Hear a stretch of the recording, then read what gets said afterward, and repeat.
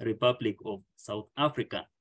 He is a keen researcher into community-based environmental conservation activities and agroforestry projects among the Luo-speaking people in the Lake region of Eastern Africa. That is a short bio of our today's speaker. And ladies and gentlemen, allow me to welcome him on stage. Welcome, Professor. Take us through. Thank you.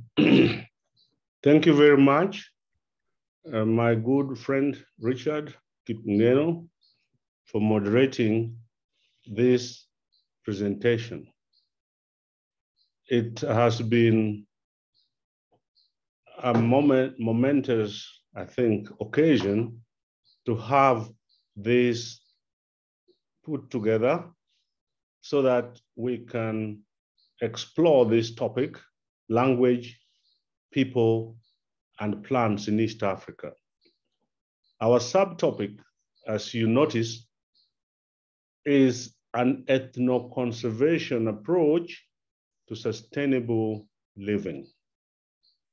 Why an ethno-conservation approach to sustainable living? Ethno-conservation is a new area which is interesting a lot of people from different disciplines. I am one of the people who have been attracted to ethno-conservation from my own background as a teacher of language, because initially that was my training. I trained in the teaching of English to speakers of other languages. Kenya, as you know, is a former British colony. And the platform we are using is Anglophone. Uh, we are proud to use English, but we are equally proud to encourage the indigenous languages as well. Learning about the environment entails learning about our indigenous languages and our indigenous knowledge systems. But as we interact cross-culturally, then we use English as the medium of communication. Because in Kenya, English is an official language. Swahili is also an official language and it's also a national language. And then our Constitution of Kenya 2010 recognizes what is called other languages.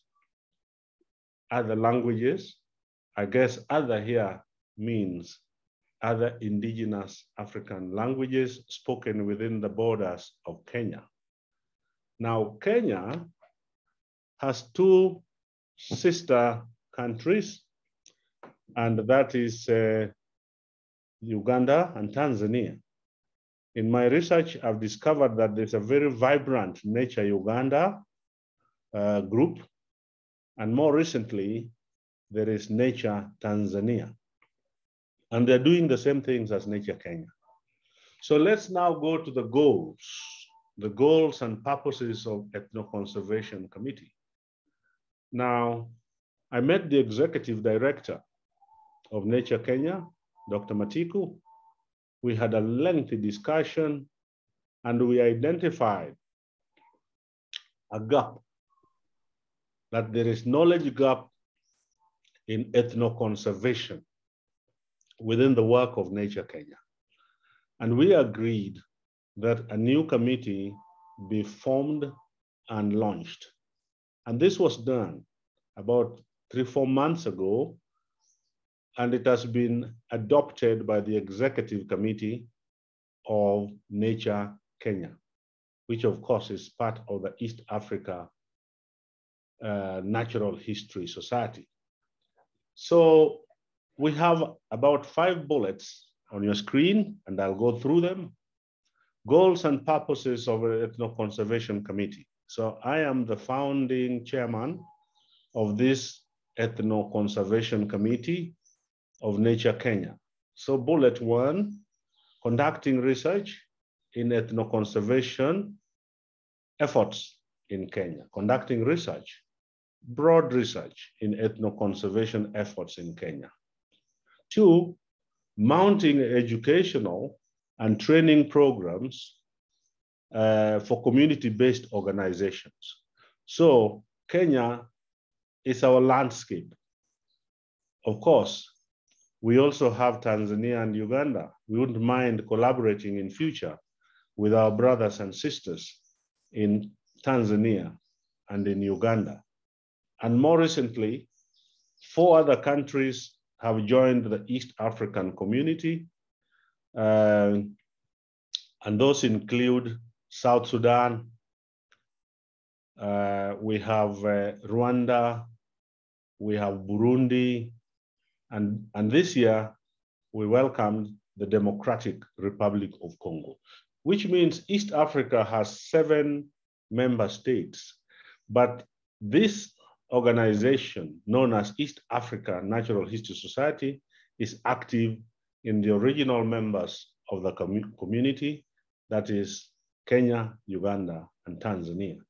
But we would be happy to collaborate with those new members of the East African community. Three, or bullet three, documenting indigenous knowledge systems, covering the ethno-ecological zones. The, uh, documenting indigenous knowledge systems covering the ethno-ecological zones in Kenya. Notice that we, we're using the prefix ethno whenever you see the prefix ethno, then have it in mind that it is emanating from the people. So this kind of conservation emanates from the grassroots people, ethnos, the people. So when you're dealing with grassroots communities, uh, when you're dealing with grassroots communities, then you must, of necessity, use the languages accessible to them. English is the official language, yes. It's the language used for science and technology and education, especially higher, higher education. But we also have Swahili, which is the lingua franca in Eastern and Central Africa. And then, of course, we have the local indigenous languages. So any emphasis on ethno-ecology necessarily means the people at the grassroots level, at the village level, whether it is along the coastal region in Kenya or the central highlands of Kenya, where Gikuyu is the dominant language, or the Lake Victoria Basin, where Luo is the dominant language, you must take into account these languages and their indigenous knowledge bases. And then the next bullet is disseminating research findings through multimedia platforms. Now, as members go out to do research, as members uh, write proposals, research proposals, and seek funding uh, to do this kind of research on ethno-environmental activities, the findings will need to be communicated to wider audiences. Of course, facilitated by the Secretariat of Nature Kenya, right here at the National Museums of Kenya, the National Museum in Nairobi. So this is a wonderful facility which has been in existence from 1909 so I would urge the members of Ethno Conservation Committee to take full advantage of the facilities and the good support system which they have been giving to researchers and educators and community groups for a very long time. So disseminating research findings through multimedia platforms. And then lastly, but of course not least by any means, planning the protection of environment with different people groups, different people groups. Notice that I am avoiding the word tribe. From the 1970s during the time of Ngugi wa Thiong'o, Nyumba, Taban Lo Liyong, and Okot p'Bitek, they castigated the use of the word tribe. And they said the word tribe is misleading. So Okot p'Bitek, whom uh, we know about through his writings, especially the celebrated Song of Lawino, in one of his essays, says the definition of tribe is misleading, that a tribe is a group of people, a, a group of primitive people led by a chief. That is misleading, it is wrong. Uh, so in my work, I don't use the word tribe, I use people groups. I also use ethnic groups. So in this presentation, I have focused on planning the protection of environment with different people groups in Kenya. So you can talk about the Agikuyu, you can talk about the Wakamba, those are people groups. You can talk about the Maasai, you can talk about the Luo, you can talk about the Basuba. They are not primitive and they are not led by a chief. They belong to a modern state, Kenya. So we progress, we make some progress in this presentation, and that's the conceptual framework. Why ethno-conservation? What is the conceptual framework? The moment you talk about ethno, then what comes into mind is the whole concept of culture. Culture is a very powerful tool in human affairs. And the moment you talk about culture, another concept comes into mind, nature, nature. And that's why we are here. We are here because of nature, Kenya, the natural world, natural history. You can talk about cultural history. You can also talk about natural history. And we are here because of the East Africa Natural History Society. So we are thinking about people, we are thinking about uh, culture, and we are thinking about nature. So ethnoconservation is an approach to preserving biodiversity heritage through utilization of indigenous knowledge systems in the quest to preserve nature and culture. So when we think of biodiversity, I want to put it simply this way, that biodiversity deals with two kingdoms interacting, the animal kingdom and the plant kingdom. And that is in a very reducted manner for purposes of conceptualization. I don't want to go into the further subdivisions of science, the sciences uh, known, known as uh, physical sciences or biological sciences, you know, chemistry, physics, geology, and all those things, earth sciences. I just want to make it basic and biodiversity as far as this presentation is concerned is animal kingdom and plant kingdom. And for this particular lecture, maybe in future we'll have something to do with animals, but this particular one focuses on plants, the plant kingdom. So defining the concept of, of culture helps us to understand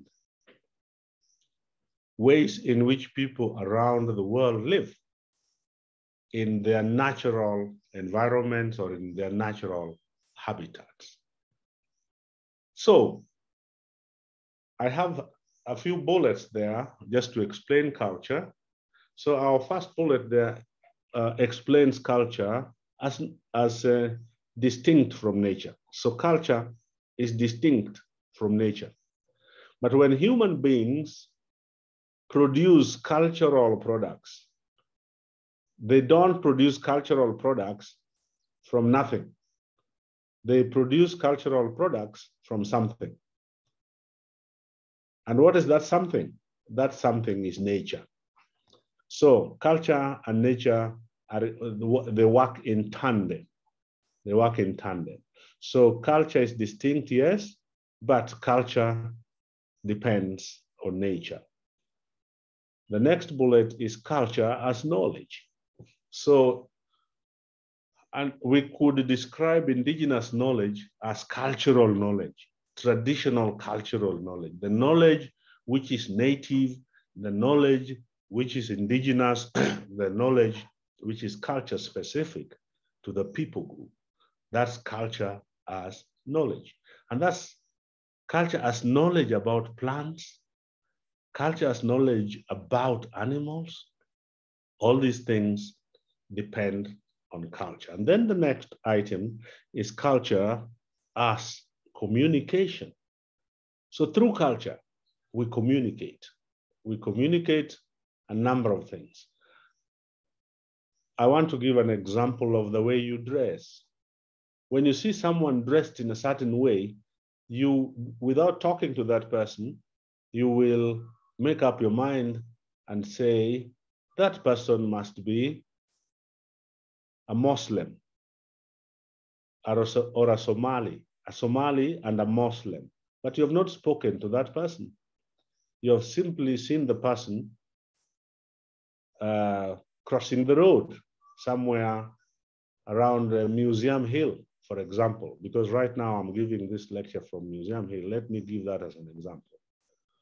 Or when I look out through the window and I see someone wrapped up in a red blanket, then I will uh, I will uh, make up my mind and say maybe that person is from the Maa community, the Maa speaking community. And Maa speaking community could be Ma Maasai mainstream or the brothers and sisters, the, uh, their brothers and sisters from Samburu or Il Chamus. So those are the Maa speaking people and their dress code will communicate something about their identity.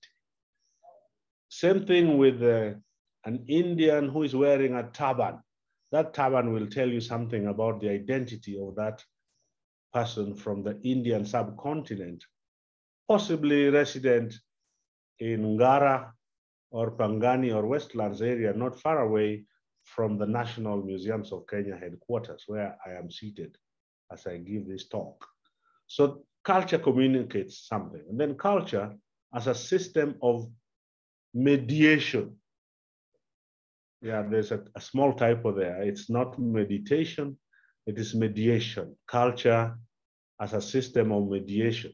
So culture links one point to another point. So culture is critical in mediation and association of, let's say, ideas or concepts and so on.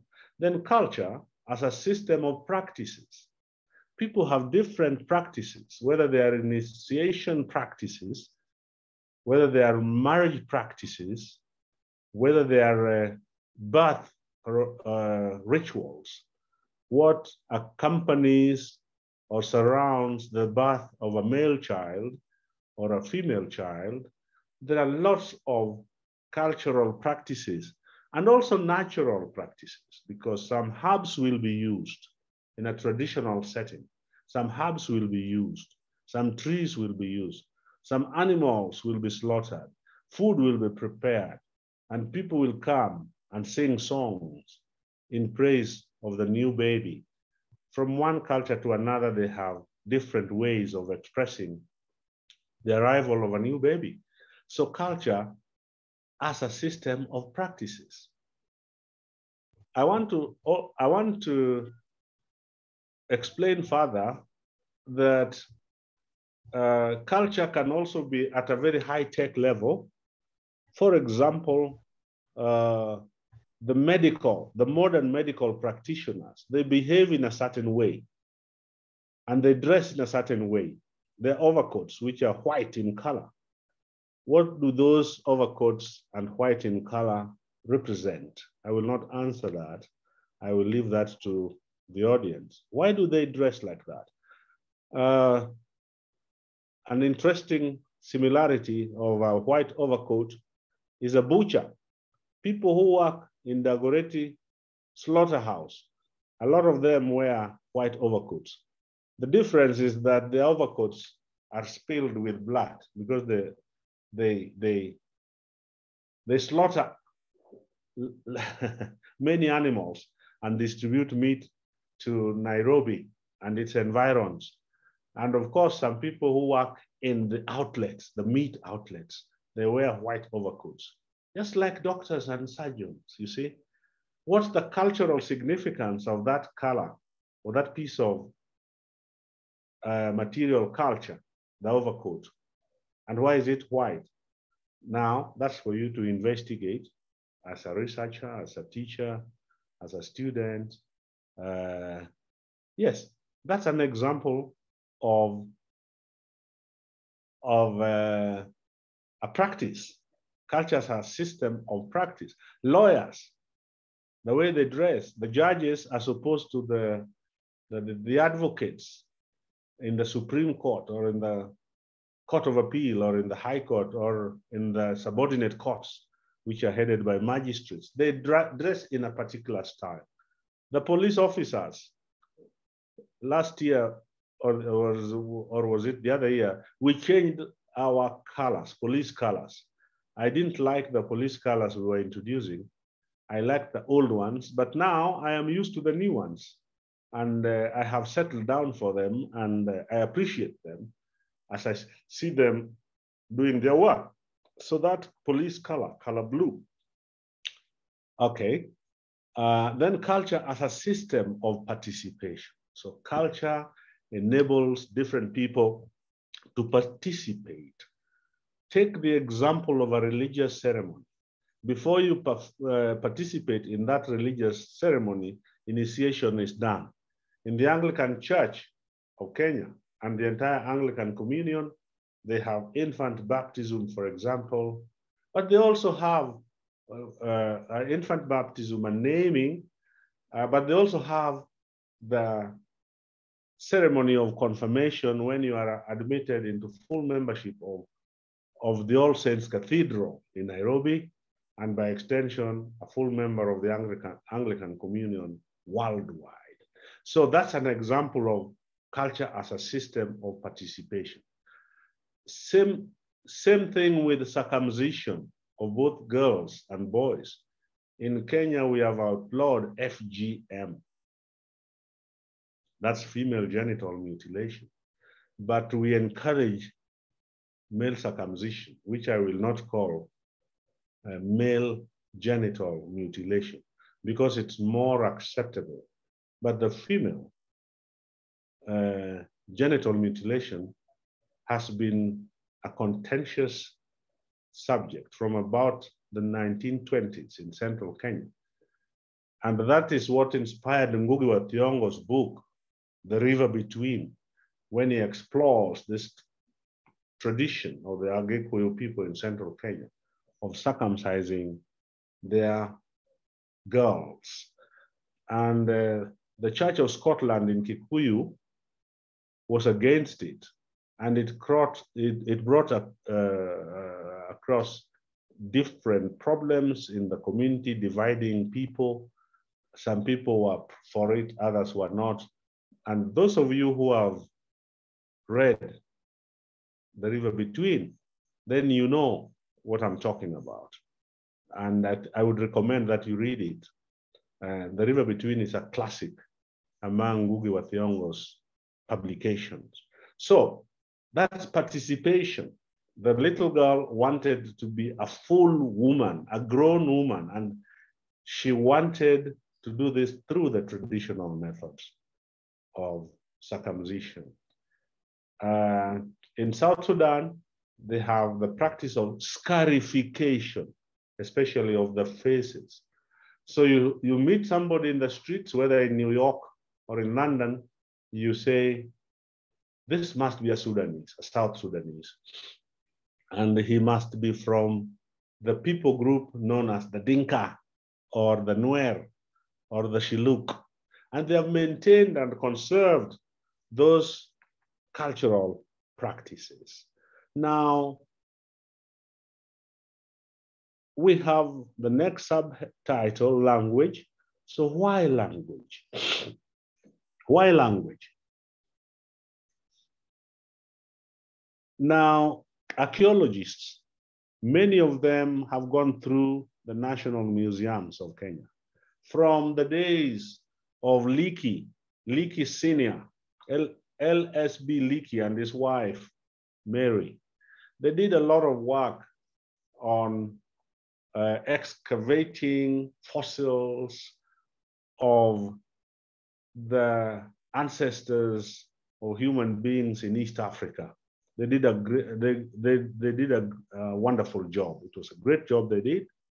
And their son, Dr. Leakey, Richard Leakey, who passed on uh, early this year, I believe, continued with, continued with the work of his parents, paleoanthropology.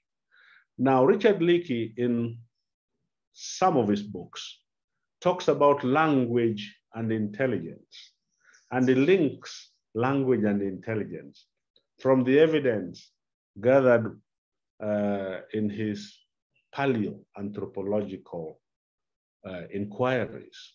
So language is as old as humanity. Language is as old as humanity. Now, imagine a situation where we had no language. I am seated here, we are using technology, but we, all, we are also using language. Any language, whether it's Latin, Greek, Hebrew, English, French, you know, the colonial languages which we now use worldwide and in the United Nations, English, French, Spanish, Portuguese. We have Arabic as well, which is quite wide spoken. And in East Africa, we have Swahili, which was spread through the east coast of Africa trading activities, which included slave trade. You know the history of slave trade and uh, elef uh, elephant tusks and so on. The interaction between East and, East and Central Africa and the Arab world, that is important. That's historical. And some of you are historians and you might be interested in studying that kind of uh, uh historical past and the impact of that historical past on the present and of course, future. So language is part of the cultural resources shared by different people groups. And language expresses our belief systems. Language explains our biodiversity. You know, we can't discuss what we don't know. So language helps us to codify that knowledge, whether the knowledge is about the plant kingdom or the animal kingdom, uh, you know, embraced by our natural environment, language is at the center. Hence my title, Language, People, and Plants in East Africa. So language helps us to access that knowledge about the environment. We give the plants names. Why do we give plants those specific names? we use language. So the shared knowledge of a people group includes the names given to plants and the implied meanings of those names in culture specific configurations. And then lastly, in this section, members of a people group share a common language and a common cu culture and language and culture help, helps them to interpret meaning within their environment. uh, so they develop what I call common environmental knowledge. And language is at the center, it's at the core of that process. Yes, so I, I want to introduce the concept of ethnobotany. In fact, In my readings and in my research at the moment, I have added paleo, paleoethnobotany. And I have affiliation with the National Museums of Kenya as a research associate in the Department of Earth Sciences. And I have been thinking of linguistics, how linguistics as a discipline can relate with paleoethnobotany. But for our purposes here, ethnobotany is enough, not paleo. Paleo has to do with a study of the, the past, studying the past of plants. Recently, I came across uh,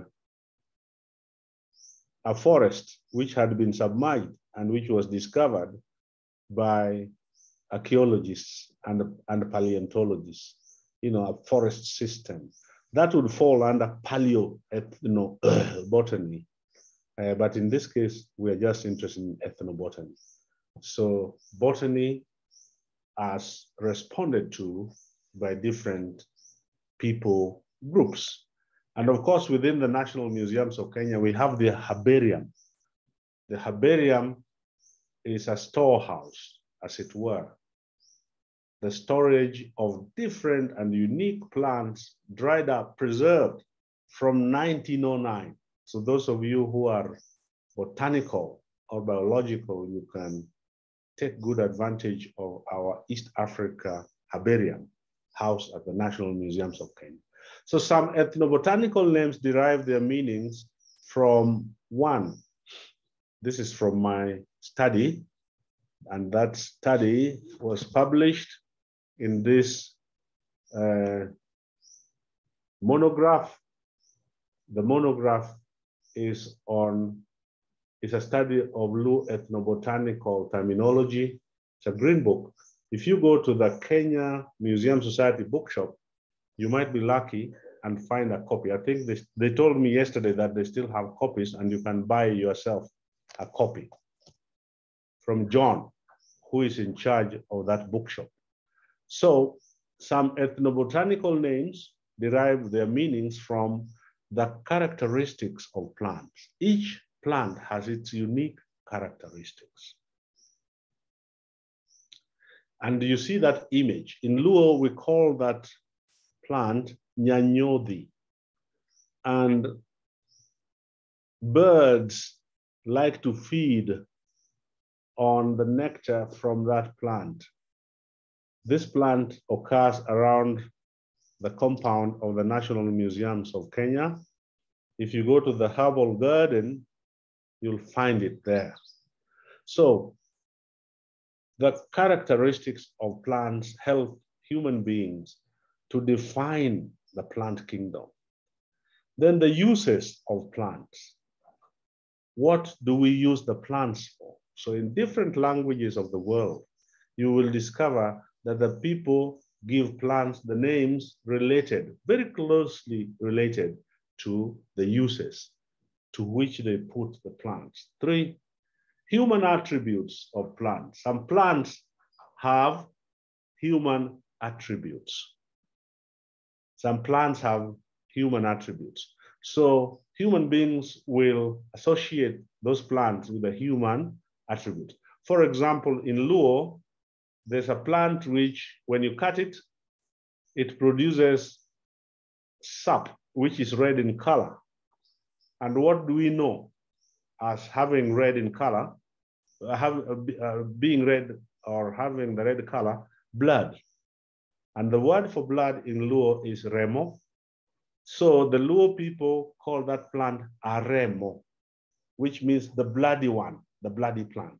So that's an example of uh, you know, attributes from blood, human blood or animal blood for that matter. Then plants might also be given names based on animal attributes. Uh, they can also be given names from their from folklore, from the people's folklore, you know, songs. There is a herbal plant which is very sensitive to touch.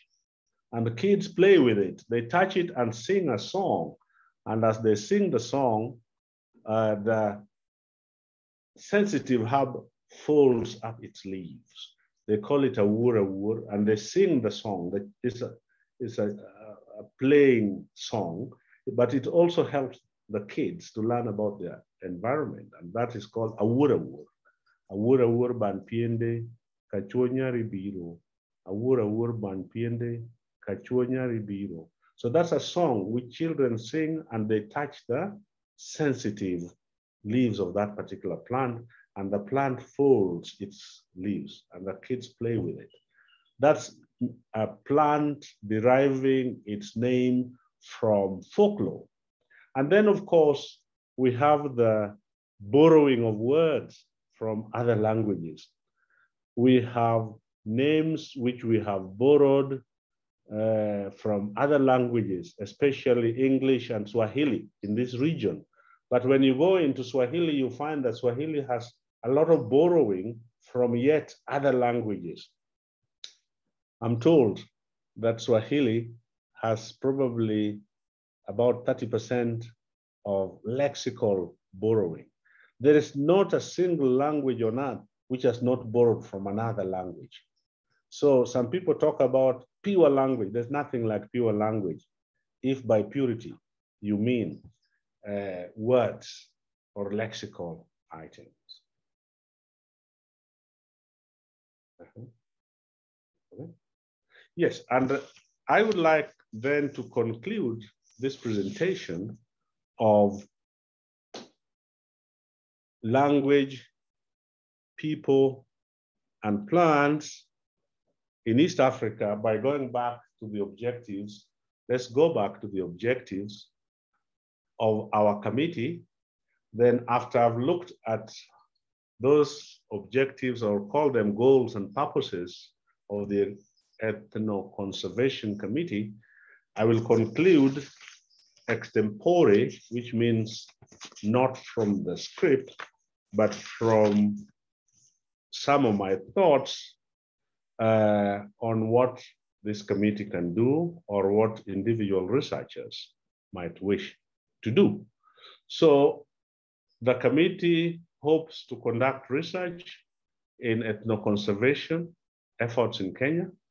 The committee hopes to mount educational and training programs for community-based groups. The committee hopes to document indigenous knowledge systems covering different ecological zones in Kenya, then disseminating the research findings and planning projects uh, which might help in the protection of the different the, uh, the environments of the different people groups.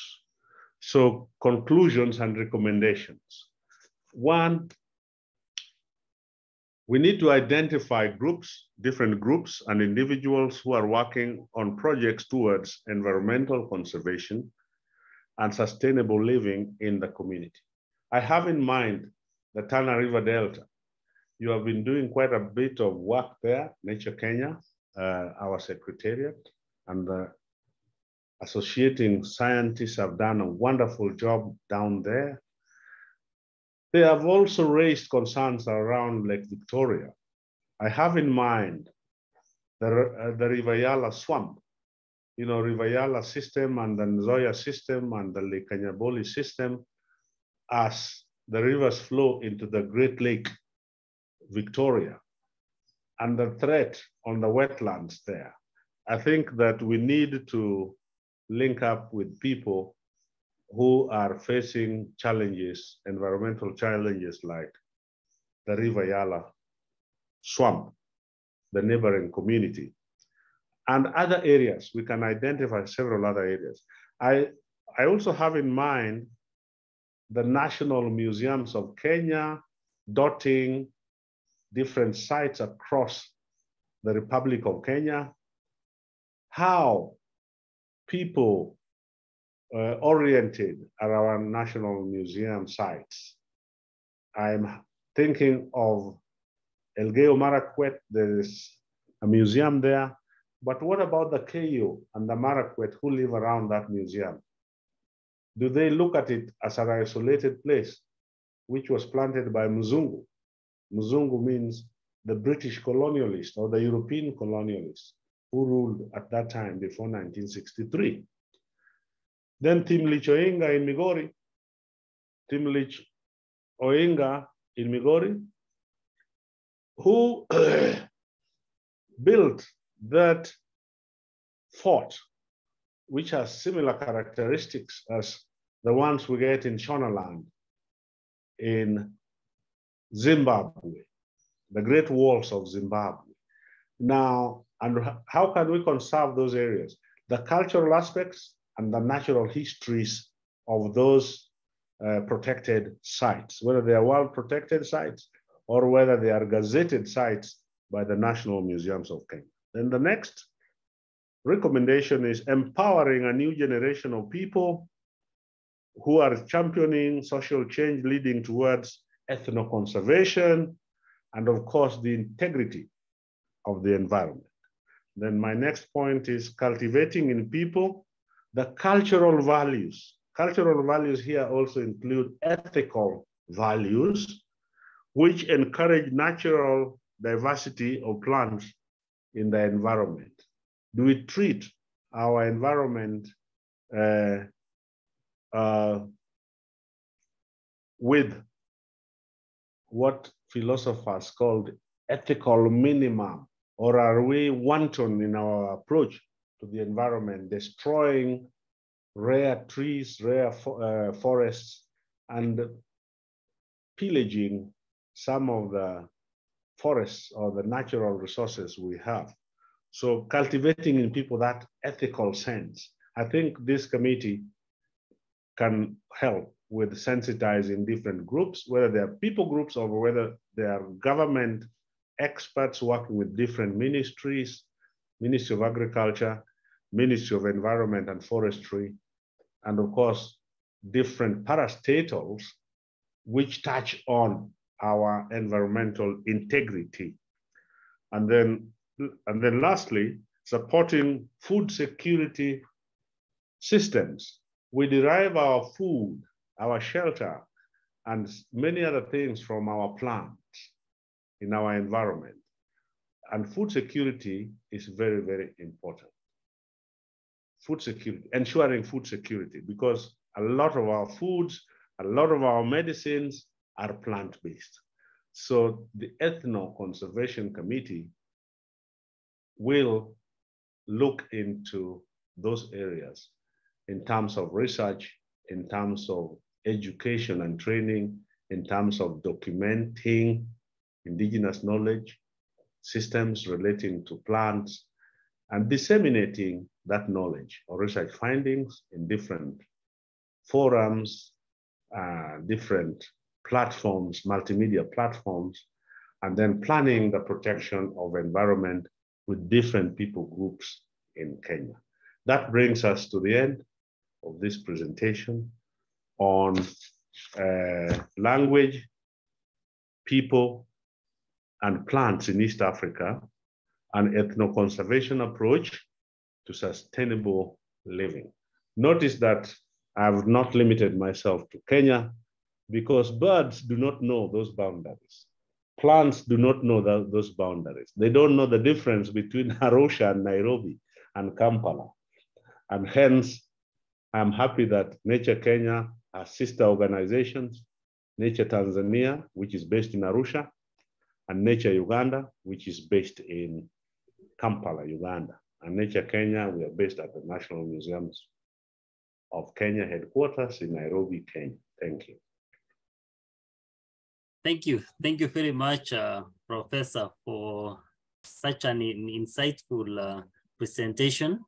Has really been very, very educative. Now, at this uh, particular moment, I welcome, I open the floor to every participant. If you have um, a question, a comment that you would like uh, to share directly with the professor, uh, you are free to do so. I had uh, initially encouraged uh, everyone to maybe share them through the chat box, but I have uh, one comment from uh, Tracy Hagai. this was such a wonderful inaugural lecture for the Ethno-Conservation Committee. Professor Ojwang has done a fantastic job in outlining our scope and goals. As a member, I am looking forward to collaborating in not only academic ventures or publications, but also in actively ensuring that impactful work is done with the various communities that we will encounter in our ethno-conservation journey. Uh, thank you, thank you very much for that uh, wonderful comment. So I, I, I, I, welcome uh, anyone who has another question, another uh, comment. Okay, from Margaret Vaz, a, a very, a very times talk when the world is at a tipping point. I think it's a very timely talk. Hi, Margaret Vaz. Hope you are fine.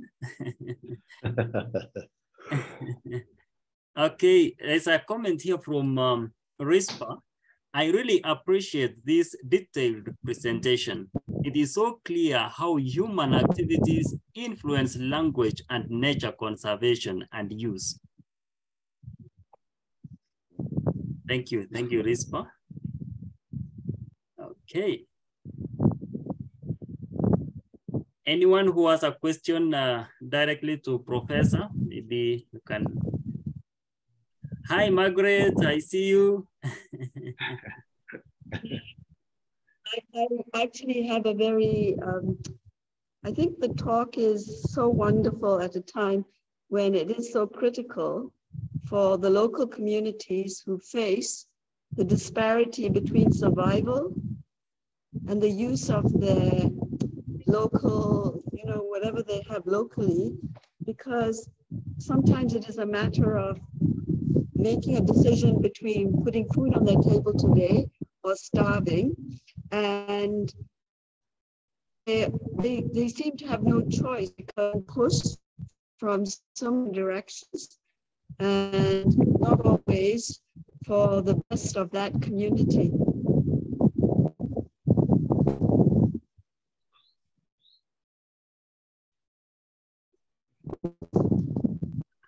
Hi, Margaret. I think we lost you somewhere.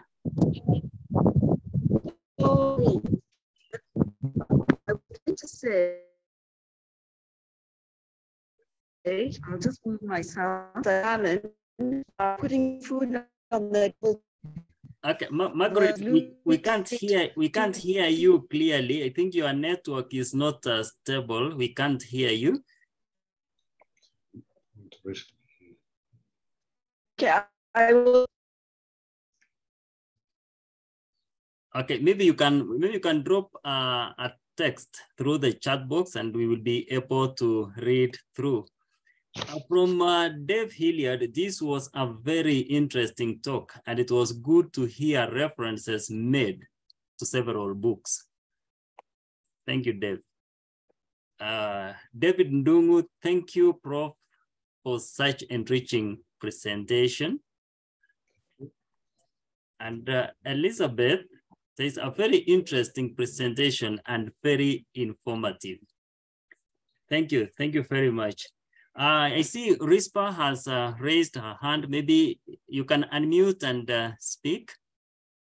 Rispa? Yes, good afternoon, everyone. Good afternoon. Afternoon. Thank you, uh, Prof, for uh, educating us. Actually, it, it is such a learning uh, platform. I hope we will have um, a lot of this from time to time. I want to say, or I would like to ask, what is your opinion on linguistic migration? And I want to give an example of uh, what I noticed from some young girls uh, who are in Kenya as uh, refugees in Kakuma. And uh, when they went back home, I, I have gone to work uh, in South Sudan. And I found these two girls speaking between themselves in Kiswahili and not local Arabic, which they use in, in South Sudan. And, and for me, it was something very interesting that They came in as refugees. They have gone back home with the language and a language which is now appreciated in East Africa and also being used as a working language in the all of in the in the AU. So um, can you uh, talk to us a bit on uh, linguistic migration and uh, I would say its impact on socio-cultural development, if, if you may. Okay. okay, thank you very much, Rispa Akinyi Pete. Uh, have, you, have you muted yourself now? Um, uh, yes, I you can, you, you can mute yourself. And I hope you're hearing me.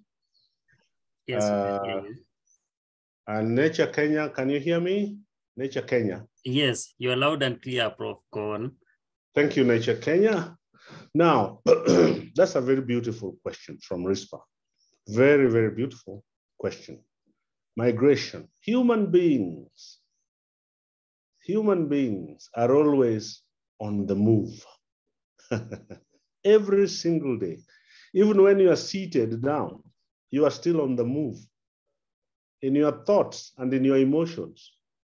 You can be sitting in your house drinking Wuji, like myself, Wimby. And my friend Richard is calling me and asking me, Prof, where are you? And I'm telling him, I'm on the move. I'll be with you in the next 30 minutes or 45 minutes. So my, mentally, I'm already at the Nature Kenya office, but physically, I am drinking uji. Uji is uh, our staple of, of uh, it's a drink from uh, finger millet, which it's my staple breakfast. I have to drink it. But mentally, I am already thinking of the presentation in the afternoon. So mentally, you travel you travel physically, you travel spiritually. Now, migration, a very powerful uh, topic. One day we should look at migration, okay? Whether it is forced migration or whether it is not forced migration. The Sudanese. Uh, Professor, let me interject a, a little. I, I talked language or linguistic migration. Yeah, I'm so coming. It from there. Yes, so linguistic migration. Now, people are forced. You can mute yourself, Rispa. Uh, people are forced to move from their homes to a place they do not know. And eventually United Nations Commission for Refugees settled them in Kakuma, in northern, in, in Turkana County, Kenya, or in uh, northeastern Kenya. There's another camp there. Or in Uganda, they also have camps. So the United Nations settles them. Let's talk of Kakuma. Now, some kids are born there by refugee parents, whether you are forced to run away or whether you came on your own volition. Now, when you come to a refugee camp, life must continue. And you discover that the people in Turkana County speak Turkana, yes, as mother tongue, but they also speak, uh, speak the lingua franca. So the kids are endowed naturally to acquire languages of their catchment areas. So those kids acquired Swahili because Swahili was the language of their catchment area in the schools within Turkana refugee settlement or refugee camp. Lots and lots of my students from South Sudan speak Swahili. They speak it very well. There are the settled refugees, the self-settled refugees in Nairobi. And I have a small group in uh, Ruiru of Anuak speaking people.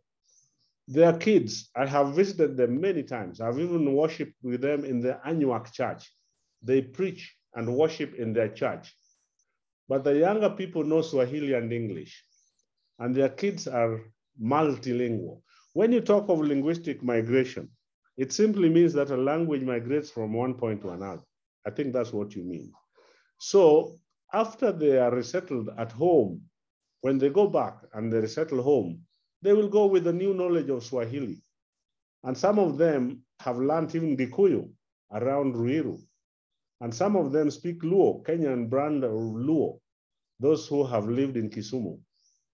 And some of them have acquired uh, languages like uh, Kalenjin. Uh, there are some of them who live in, in Kitale and in Eldoret and Nakuru. So yes, once you learn a language, you keep it. It's a resource, isn't it? Uh, and they even learn about the environment where they are settled. And Kakuma is the best illustration you're talking about. So you learn a language, you keep it, it's part of your knowledge, you keep it and you use it when it is necessary.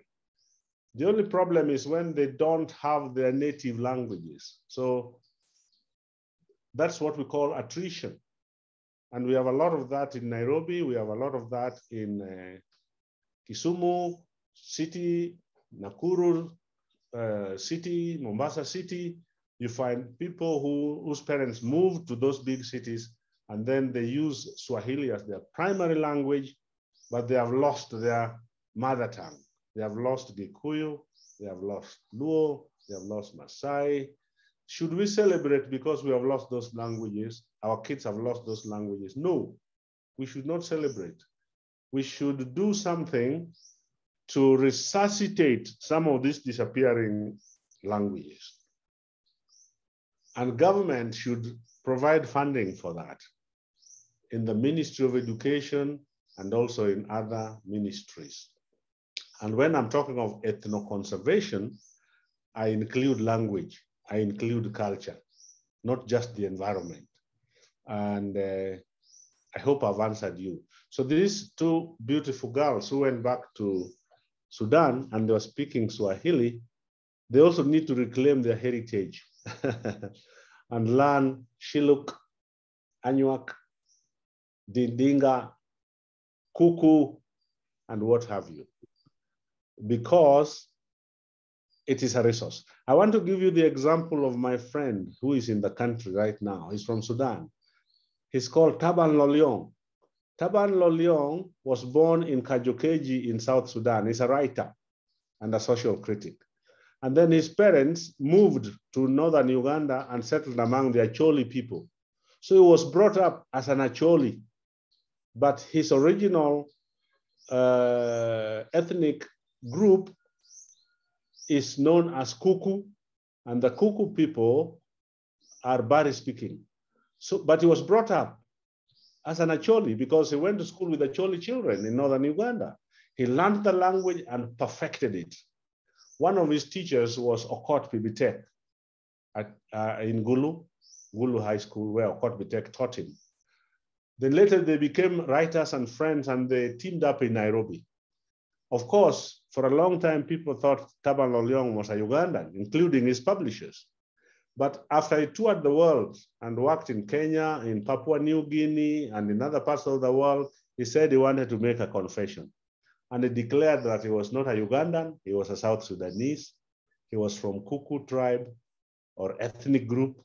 Remember, I said we shouldn't use the word tribe, ethnic group or sub-nationality. And he speaks Luo, Kenyan Luo. He speaks Acholi, but he also speaks Kuku. So he's a, a multilingual person.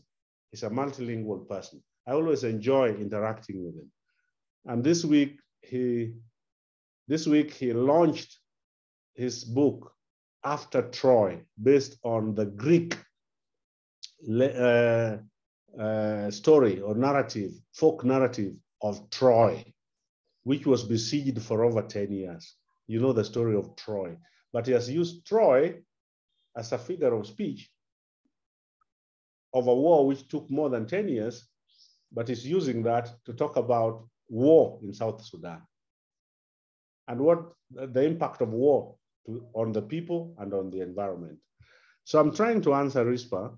I don't know whether I have succeeded that yes, languages migrate they migrate with people. The way English migrated with people to Australia, and English migrated to, with the English people to New Zealand and to South Africa. We have South African English speaking people. The Dutch speaking people in South Africa, now they call themselves the Afrikaners. And we have English migrating to North America. Now they say, no, no, no, this is American English. This is not British. This is not British English. This is American. And they have also tried to, to have their own spelling systems to make them distinct and have distinct identity from British English or English English or Queen's English. And right now we have a king in England. So I don't know whether they will now talk about King's English, King Charles III. So yes, I agree with you. Languages move, languages migrate. In that sense, linguistic, you, your termin terminology of linguistic migration, yes, there is linguistic migration as it were. Okay, thank you. Thank you, Professor, for explaining uh, that. Uh, Margaret, we lost her, but uh, she has dropped, uh, think, a message that uh, she was uh, trying to say. And she said, I, I was trying to say that some communities are at risk of putting food on the table versus losing their rich cultural influences in their neighborhood. And another one from uh, Bozo. the presentation is excellent, but we'll be interested to know more about ethno-conservation and with how members of the people connect with climate change. Uh, Professor, you have something to yes. say on that? That is a very good question you cannot talk of ethno-conservation and forget climate change. You see, in our languages, we had certain terms used. And Rispa Akinyi, Pete can help me on this. We had four seasons in a year. In Luo, Rispa, can you give me, I am throwing this back at some of the participants. RISPA or any other Luo speaking participant. RISPA, can you give me the four seasons in a year? Um, I may not know all four, but I know in the beginning of the year, we had Chwiri. This is a, time when there was a lot of rain and uh, it was a time for planting. Then there is uh, uh, a time called Oro, which is a dry spell. Mm. And uh, then there is Opon, uh, another time for planting again after harvesting. Mm.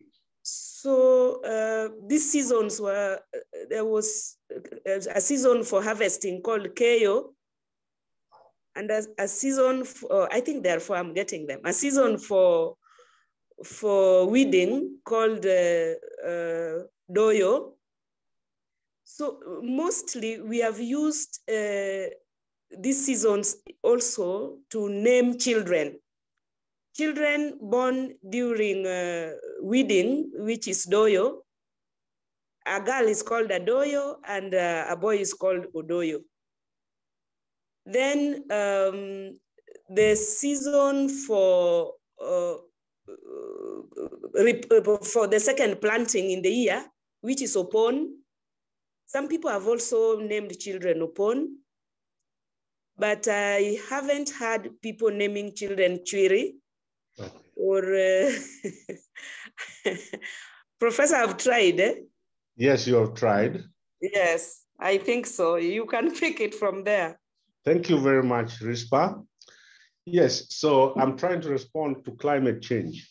So the, when we were growing up, I think it happened to everybody, whether Nyanza region or coastal region or central Kenyan highlands. We expected the rains at a certain time, Chwiri, the long rains, Chwiri as uh, Rispa says, the long rains. And it would be very cold. Sometimes you'd not see the sun. That's no longer happening. climate change has taken its toll.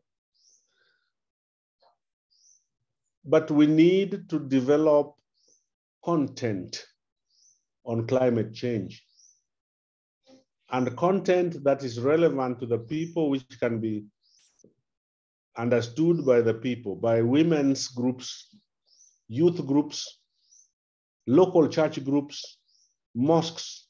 You know, I'm, I'm thinking of organized groups which we can use as entry points uh, or temples.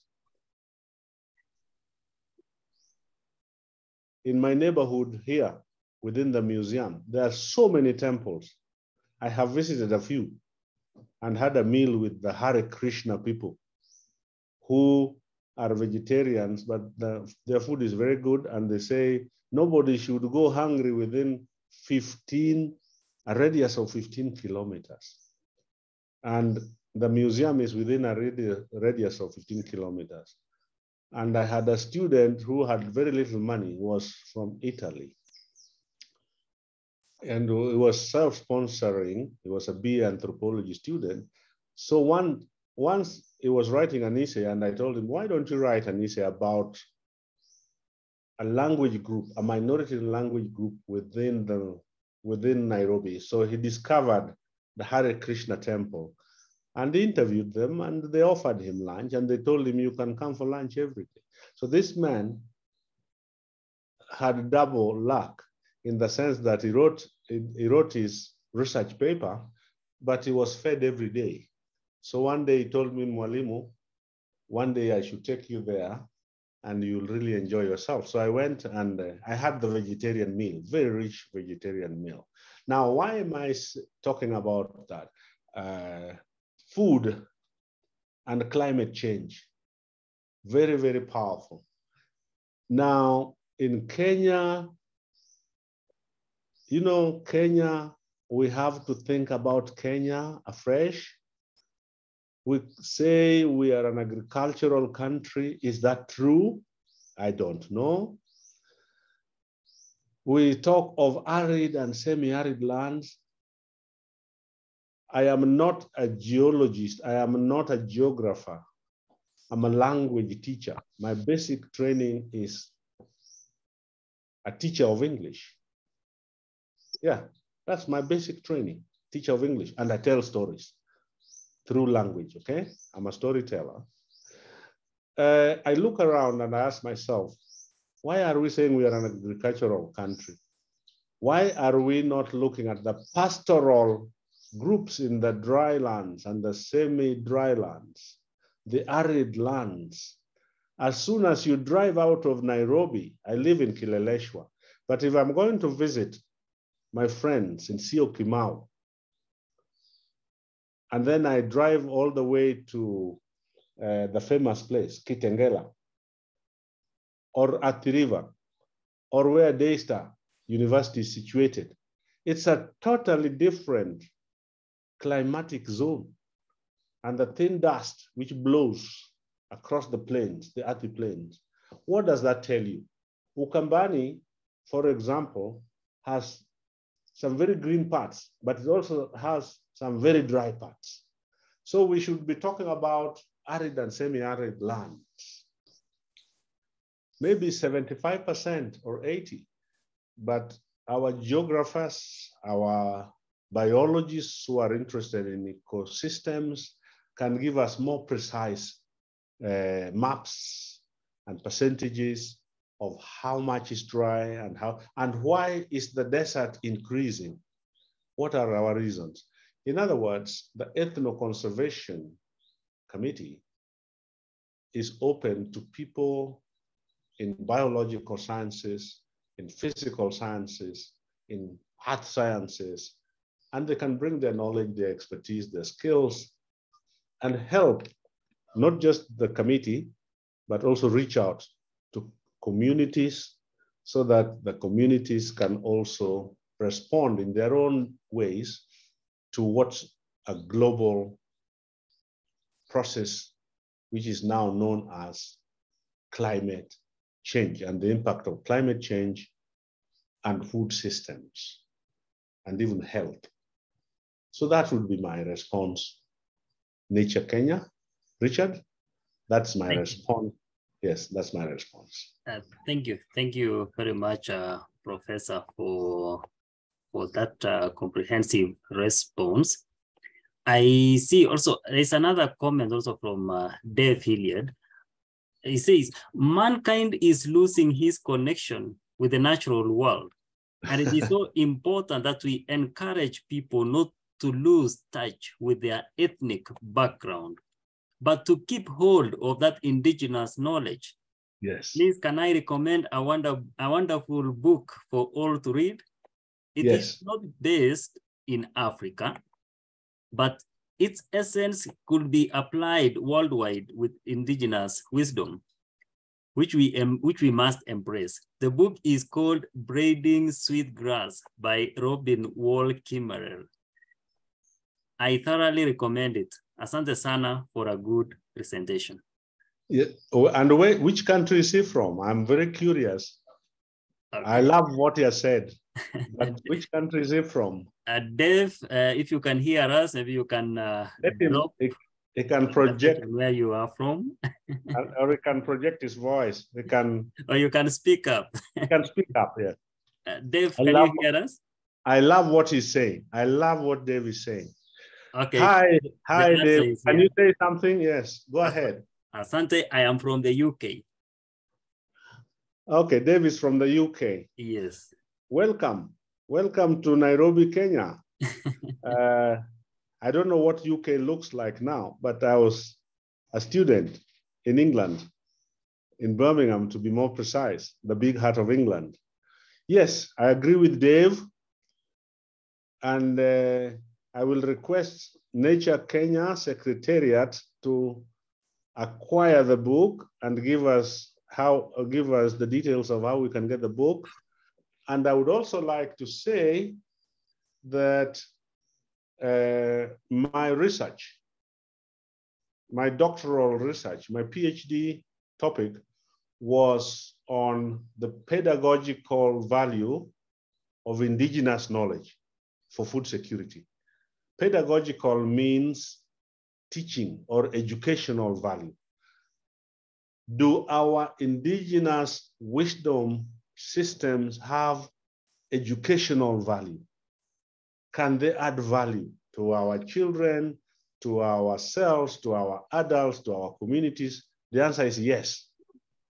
And that's what Dave is advocating for. So I agree with him absolutely.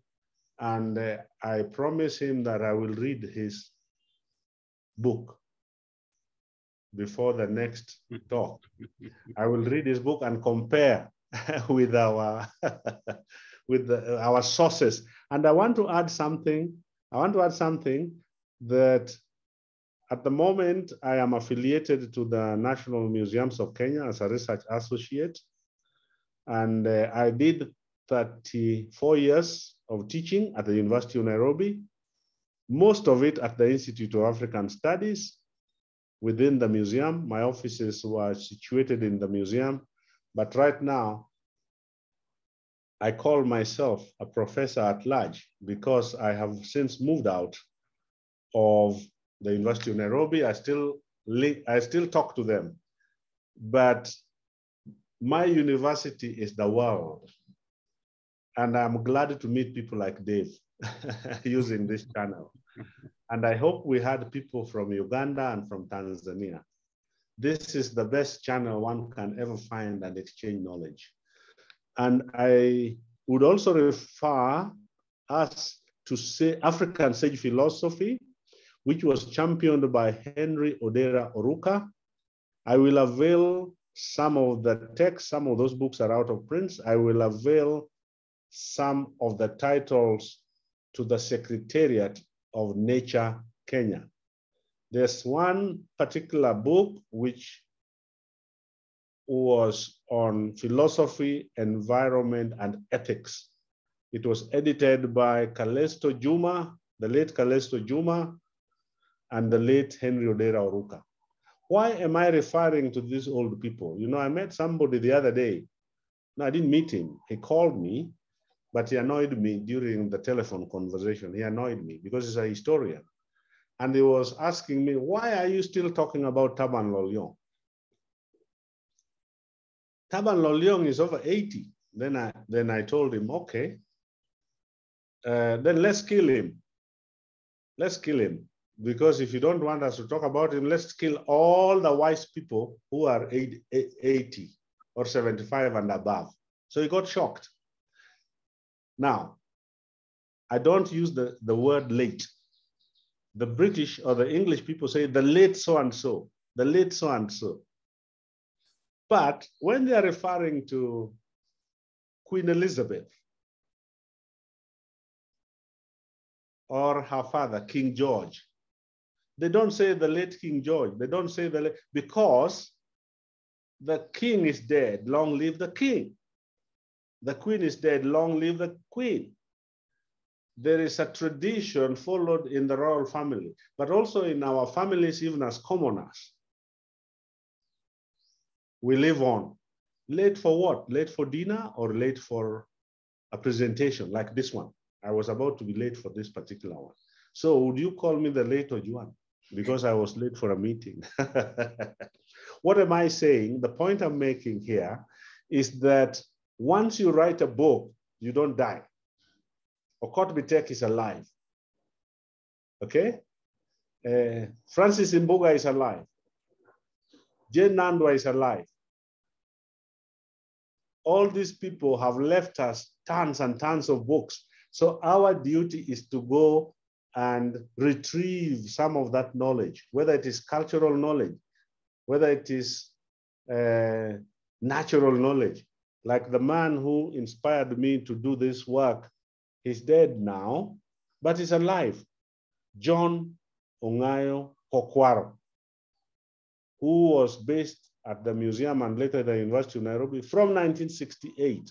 And yesterday I was looking at his the funeral service booklet. He died for three, four years ago, and he's alive through his books. So when we conserve knowledge, when we retrieve, when we document, when we transmit, then we become immortal. We become immortalized. That knowledge continues even though you are physically, you are physically left the, this existence and you are cremated or you are buried on the soil, planet Earth. So I'm saying that these ideas, if we retrieve them, posterity, our grandchildren our, and our great grandchildren will benefit from this. Uh, thank you. Thank you very much, uh, Professor. That's very powerful indeed. Uh, for the interest of time, I see we have uh, five minutes. I will go through some comments here from RISPA. Ethno-Conservation Committee can engage in environmental protection and conservation by creating awareness on climate change adaptation and mitigation through planting tree according to members' age.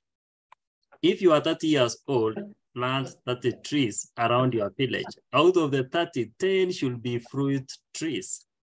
Wow. Thank you very much, uh, Rispa, for that challenge. I hope the members will take, take it up seriously. And uh, Dave finally said, I think you will enjoy it very much, actually the book itself. Thank you. So thank, thank you, you thank you, thank you very much.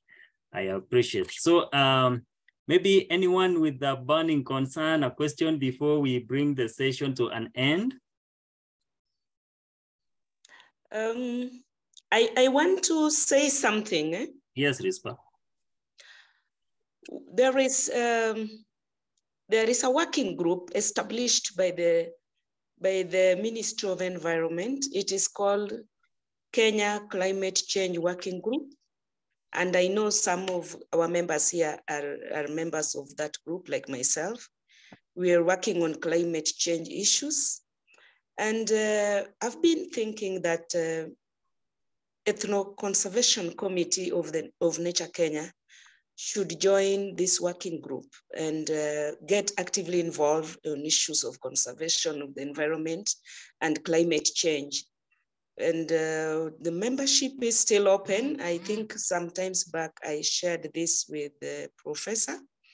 And I still want to insist that it is important that the committee becomes a member. Because it is like a think tank on climate change, but also implementing uh, certain climate change activities. And uh, Professor mentioned uh, the, the Tana Delta, he mentioned the Yala, and of course, these other places where mm. our presence can be uh, made visible, but that can really work well through Kenya Climate Change Working Group. That's what I wanted to say.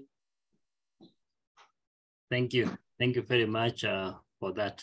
Yes, you also uh, wait for Professor for his uh, closing remarks.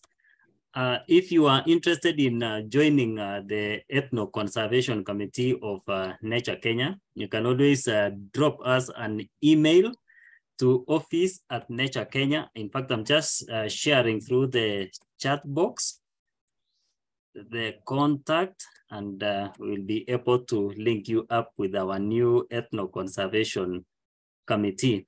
And also maybe I will request Professor if um, you can drop your contact through the chat box right there in case uh, any of the participants would like to reach you directly, then that is fine.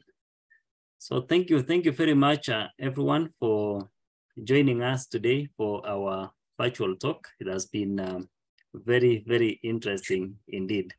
So maybe anyone with uh, a last uh, question or comment? Uh, sorry, I got lost the, uh, but I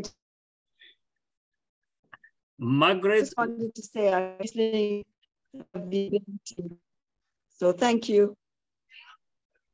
Thank you. Thank you very much, uh, Margaret. It's always a great pleasure having you on board. And uh, I hope you're, you're enjoying your time in, in Kenya. You've always been joining us from Canada, but uh, I know currently you are around the country and uh, keep enjoying our biodiversity. Thank you. Thank you very much. So Professor, your closing remark as we end the session. Yes, my closing remark, I would like to recognize a silent listener by the name Madenge Thiongo. Is he in the house? Madenge Thiongo. If, if he's in the house, he could take the mic. Madenge Thiongo is an MA Conservation Anthropology candidate at the University of Nairobi. I think he joined and uh, is not around at the moment, but I had seen uh, Madenge in. Yes, I want to acknowledge him. He was my student and, and uh, at the University of Nairobi.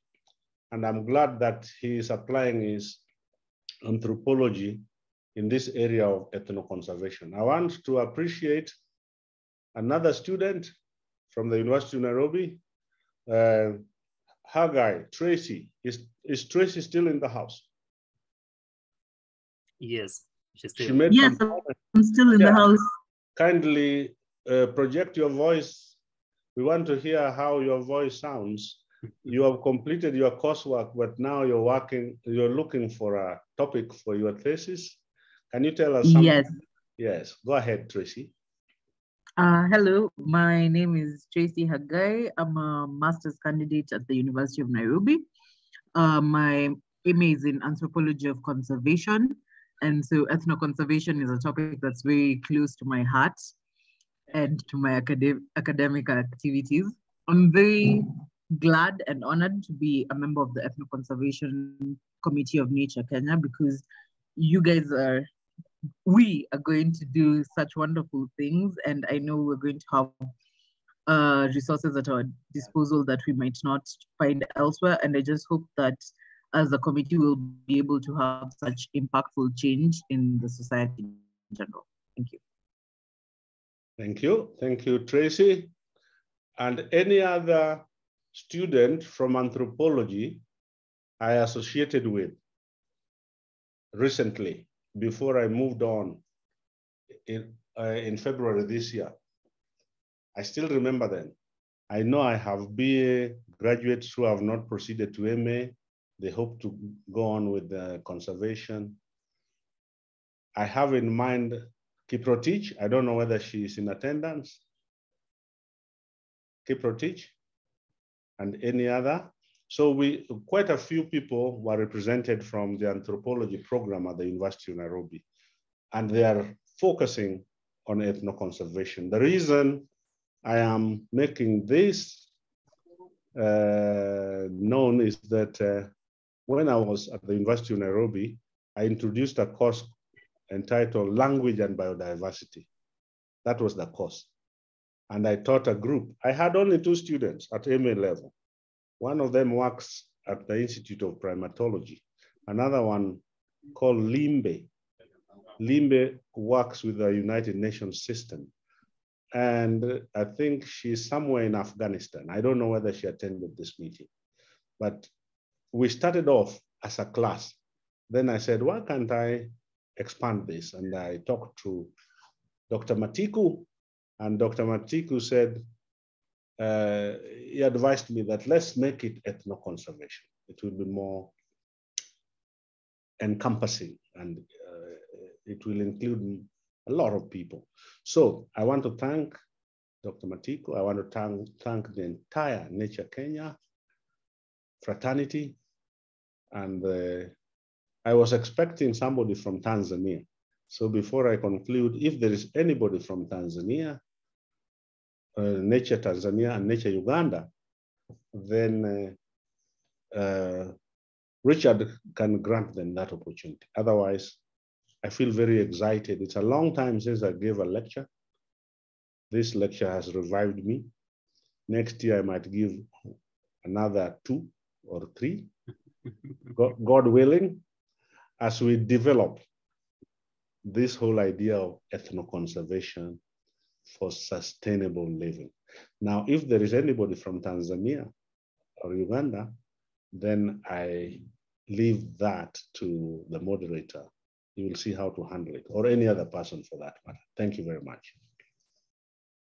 Well, thank you. Thank you very much, uh, Professor, for your closing remarks.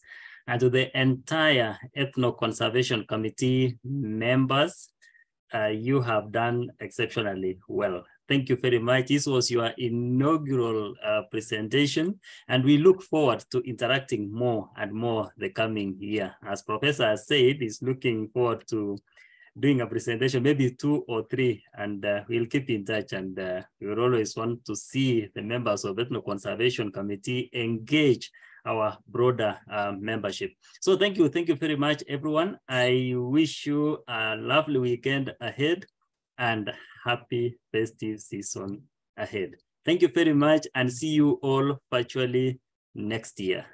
Thank you.